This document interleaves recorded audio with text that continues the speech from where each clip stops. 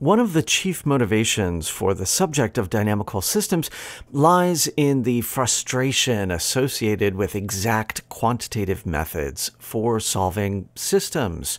It is a qualitative approach that is going to be our goal and our great advantage in terms of trying to understand dynamical systems.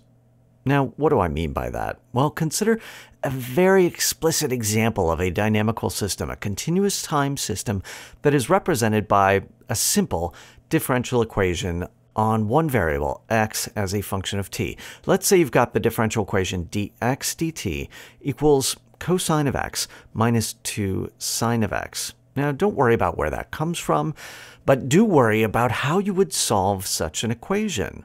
Trying to find an exact quantitative closed form solution for x is really quite a challenge. Now, I'm going to be nice to you. I'm going to tell you what the solution is. I claim that x as a function of t equal to negative 2 times arctangent of quantity 2 minus square root of 5 times the hyperbolic tangent of quantity root 5 over 2 times quantity a constant c minus t.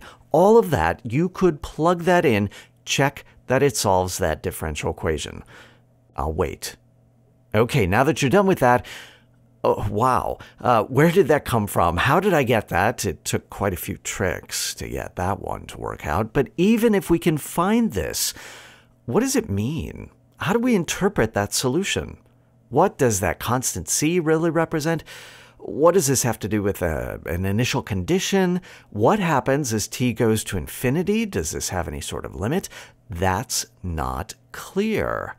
And even this is really, really optimistic. A small change in that differential equation, and forget about it. You're stuck. There's no way you're going to get that exact quantitative solution. Now, that's a continuous time example. What happens if we look in discrete time?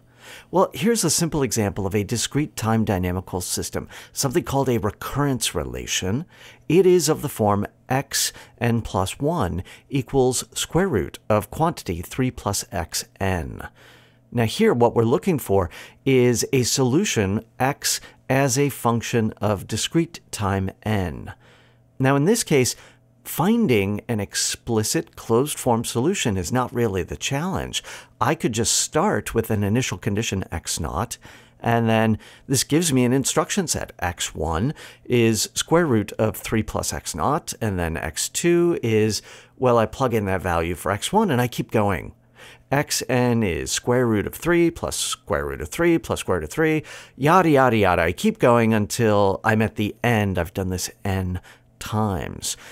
So, finding that closed form solution is not the challenge. What is difficult is interpreting that closed form solution. What does it actually mean? What is the limit as n goes to infinity? Does that make sense? Is that something we can compute? Now, both of these are explicit examples where I can write down an equation. Consider the following implicit situation. Let's say that we have a pendulum and it's damped, got a lot of friction, and the bob of the pendulum is magnetic.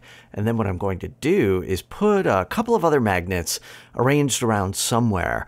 I'm going to take this pendulum, pull it up, and then let it go. What happens? Now, we could try to get a differential equation to model this. We would have to know a lot about the types of magnets we have, what the magnetic fields are. We'd have to pull out our E&M textbooks, write down some equations. It would be a real mess. And even if we did that, even if we did all that work, got those differential equations, guess what? You're not going to be able to solve those explicitly it's going to be terrible to try to write down a solution. And if you could solve it explicitly, interpreting it, mm nope, that's tough. What we need is a different approach. We need a better way.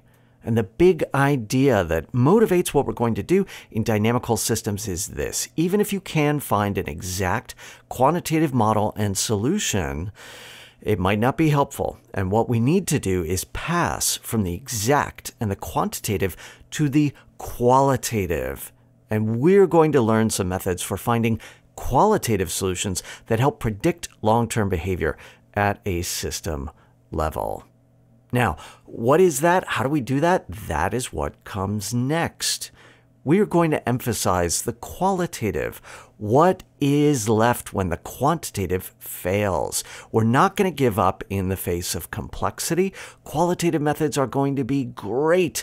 They're going to be very, very effective and very, very efficient. In the end, we're going to have an elegant set of techniques.